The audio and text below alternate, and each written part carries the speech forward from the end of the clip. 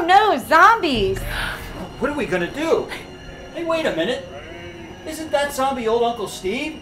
What? He died over 10 years. Oh, right. Wasn't he the one who was married to the New Zealand sheep farmer before they got divorced and he married Aunt Thelma? No, that was Uncle Simon. I think it was Uncle Steve. I think it was Uncle Simon. I'll ask. Hey, Steve, were you married to a New Zealand sheep farmer? See, I told you it wasn't him. I'm pretty sure it was. There's a way we can find out. How? We can go to the Baltimore County Public Library online genealogy databases. The library's closed, sweetie. It doesn't matter. BCPL info never closes. We can go online, type in our library card number, and have access to several databases that can help.